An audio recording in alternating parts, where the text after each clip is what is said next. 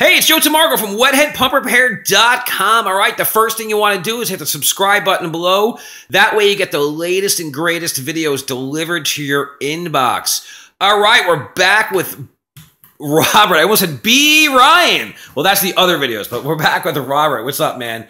All right, so here we go. We're back with the Vico Ultra Jet uh, repair series. We're like part 9 or 10 or something like that. Uh, we're installing the through bolts, okay? So there you go. We removed these in the other video. Now, like we showed you, we've lined up the end belt, put the armature in, and we're just going to be slipping all four through bolts through the motor. All right, there you go. Robert's going to place that motor in a little bit of a spot there. Nice job, man. All right, remember, all parts are available at wetheadpumprepair.com. We have over 900 videos for you to watch online. Tell your friends, tell your neighbors. If you're a pool guy watching, what's up? How you doing? Uh, learn how to fix your customers' pumps if they don't want to do it. Believe it or not, you might be thinking like, oh man, this is just for the homeowner.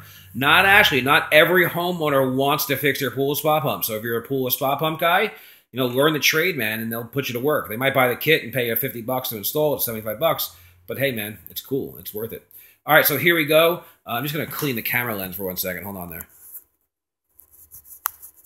All right, there you go. That wasn't too professional, but either was Robert.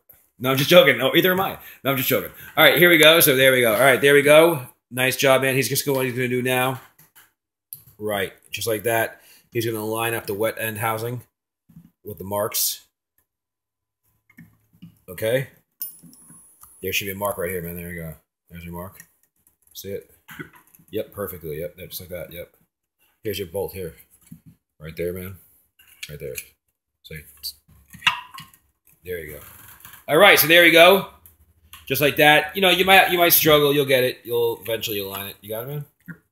Who said he has to know? Yeah. Well, oh, what we usually do is wait. To, lift it up a little. We prop. Sometimes if you if you uh, if you want, whoa, we can prop prop it up there. Watch. Just yeah. Put, put this underneath there. They give you a little bit of room to work on it just like that. So there you go. Robert is now going to align. You can see we have motor markings on the marking of the pump there. Everything's lining up. There you go. Now he's got the through bolts. You got your through bolt through there? Yep. And then he's going to use nuts. He's got nuts. Show him the nuts you got there, Robert. Uh, no, not not your nuts. Sorry, women. If that if you're out there watching, then we don't mean like that. We're not trying to be like that. Yes, yes. There's no way. To, Ryan Seacrest could have cleaned that up nicer, right? Uh, you even heard Brian laugh in the background there our producer Brian. He was like, "Hey, hey, watch it, watch it. We'll have to call legal." No, I'm just joking. All right, so there we go. Eight eight eight eight eight eight eight. So if you're from Rochester, New York, uh, that was a shout out to Cellino Barnes, right? Hurt in a car, call William Mattar. Right? Isn't that what it is? Or is that 7777? I'm serious. So if you guys, if anybody's out there from Rochester, New York, and I get a lot of customers, right, Robert? They're always like, yeah, I used to live in Rochester. I went to school in Buffalo. Well, in uh, Rochester, New York, uh, we have a couple locations. We have a Rochester, New York location, a Long Island location, and a uh, Florida location, soon to be expanding in California. But yeah, up here everything is an eight eight eight or a seven seven seven seven, right?